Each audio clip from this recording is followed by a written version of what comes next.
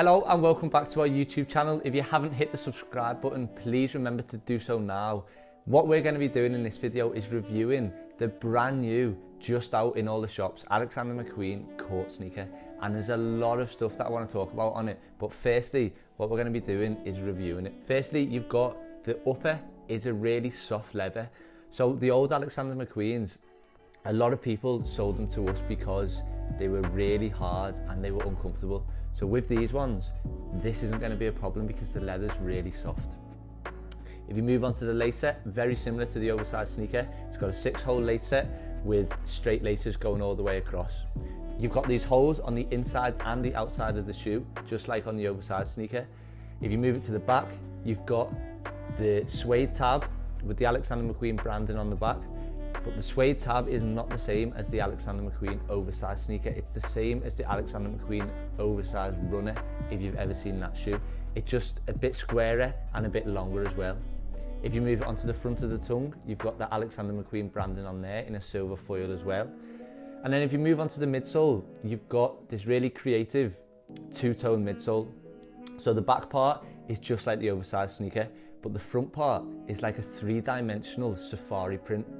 And then if you flip it onto the outsole, it's the 3D safari print carried on all the way onto the outsole with Alexander McQueen branding slap bang in the middle, just like the oversized sneaker.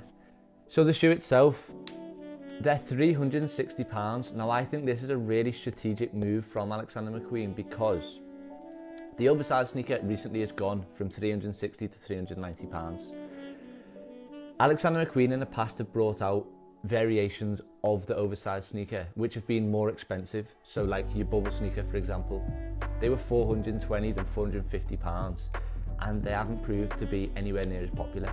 But they've brought these out at 360 pounds only a little bit, bit of time after they boosted the price of the oversized sneakers up to 390 pounds.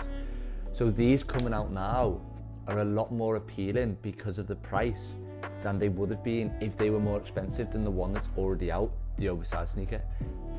So what I'm thinking is these are trying to make a different shoe other than the oversized sneaker more popular.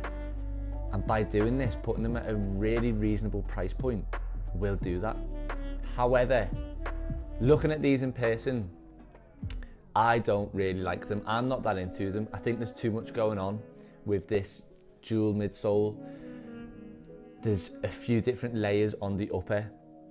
Unlike the Alexander McQueen oversized sneaker, it's just a real simple shoe and it just appeals to the majority of people. With this, I don't think it will do. Let me know in the comment section what you think of the court sneaker. Do you like it better than the oversized sneaker? Let me know which one you prefer. We'll be back really soon with another review. Remember to hit the like button, hit the share button, remember to subscribe. Thank you for watching. See you next time.